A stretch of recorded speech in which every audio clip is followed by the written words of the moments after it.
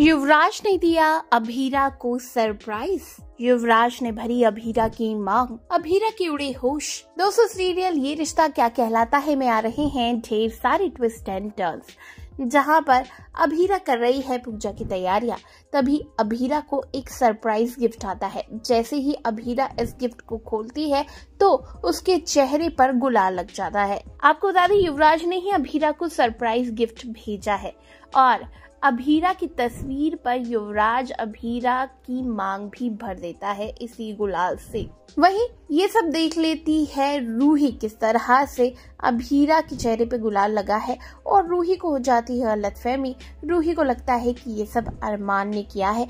रूही अरमान पर भड़क जाती है। दूसरी ओर हमें देखने को मिल रहा है कि अरमान और अभीरा हो रहे हैं रोमांटिक अभीरा के फेस पर आते हैं बाल। तो अरमान करता है अभीरा की हेल्प और अभीरा के बाल बाँध देता है। अभीरा अरमान की फिल्मी रोमांस से हो जाती है इम्प्रेस दोनों के बीच धीरे धीरे नजदीकियाँ बढ़ रही हैं। दोनों एक दूसरे को करने लगे हैं पसंद। लेकिन इन पर नज़र लगाने वाले काफ़ी सारे हैं। युवराज की नज़र है अभीरा पर तो रूही की नज़र है अरमान पर। अब देखना होगा आने वाले एपिसोड में कैसे रूही और युवराज मिलकर अरमान और अभीरा को करेंगे अलग। चलेंगे कौन सी चाल? क्या लगता है आपको इस बारे में? नीचे कमेंट सेक्शन में ज़रूर बताइए। और टेलीविज़न से जुड़े लेटेस्ट अपडेट छतपति गॉसिप्स के लिए सब्सक्राइब करिएगा हमारे चैनल को।